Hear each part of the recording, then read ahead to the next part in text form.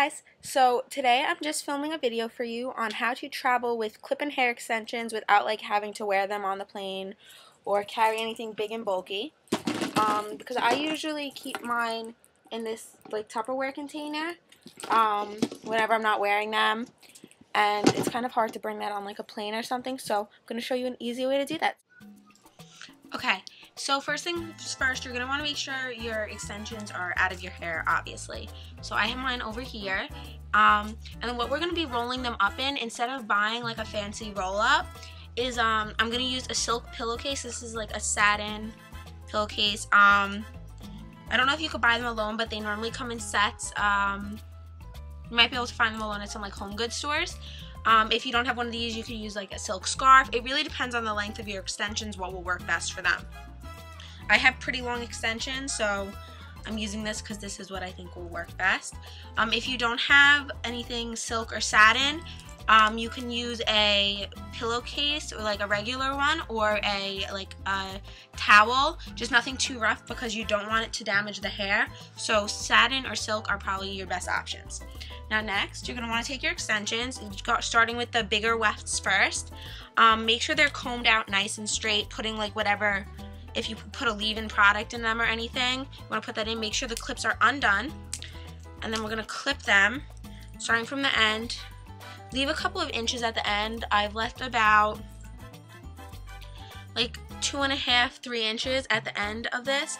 And I'm going to clip my extensions down, lying them flat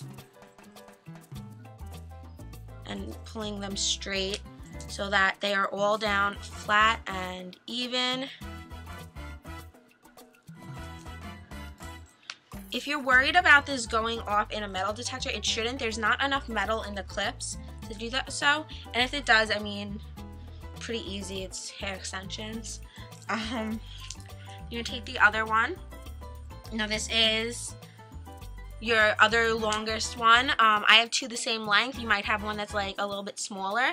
Leave about an inch in between there and clip it down the same way.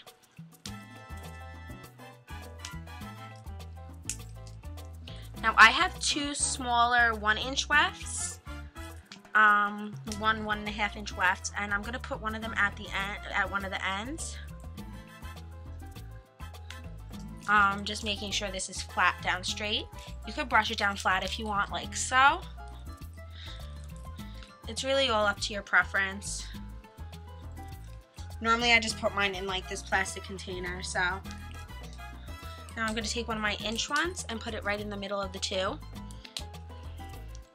That down flat. And now whichever side has more space, I'm going to put the other one down.